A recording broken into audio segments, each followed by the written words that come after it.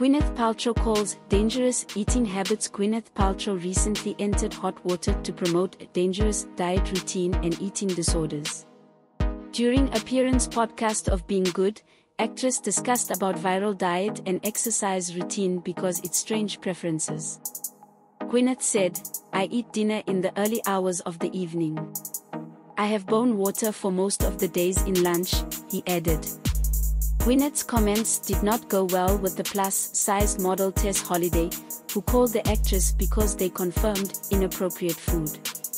Tess addressed Gwyneth's interview about TikTok video. Slifting doors star, the most mental thing I find in this regard, we know that it is good to glorify eating disorder for years, he said.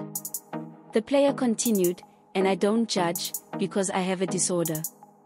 Bone water is not a suitable meal and then to finish your day with only vegetables, but still people continue to give him a platform, give him a platform, and take advice because everyone is more scared of being fat, he explained.